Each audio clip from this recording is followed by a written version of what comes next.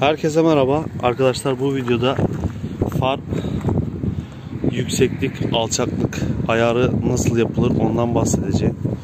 Öncelikli olarak kanalımdaki diğer videolarımı izleyip kanalıma abone olmayı unutmayın.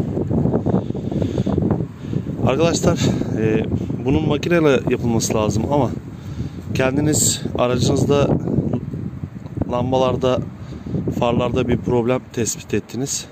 Yani çok aşağıda gösteriyorsa şurada arkadaşlar aşağı yukarı ayarı var. Buradan bunu çevirdiğimiz zaman hafif aşağı yukarı yapıyor ama bu da yeterli olmuyorsa şuradaki vidayı sıkıp yukarı veya aşağı şuradan tam şeyinden belli oluyor. İçindeki mercek oynuyor arkadaşlar. Yani şu komple kısım. Buradan farınızın yükseklik, alçaklık ayarını yapabilirsiniz.